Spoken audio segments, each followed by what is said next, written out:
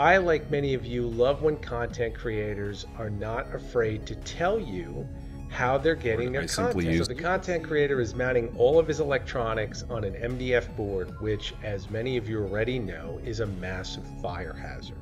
This is and because, of course, as I've stated in many previous videos, God forbid something ever happens. You are then using the proper substrate for an electrical enclosure. Number one, it would be up to code. And number two, if an insurance inspector ever came in, God forbid that there was a fire, you would get paid. Think about what I'm saying.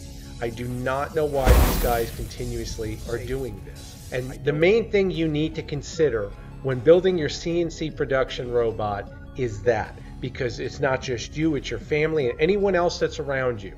These wood think most of us routers are nothing more than a machines at one point or huge fire hazard. in my case, So much so, I'm not going to just say it, I'm going to show you some more proof. In a position where they can respond to an emergency, I don't think I've adequately expanded on what that means.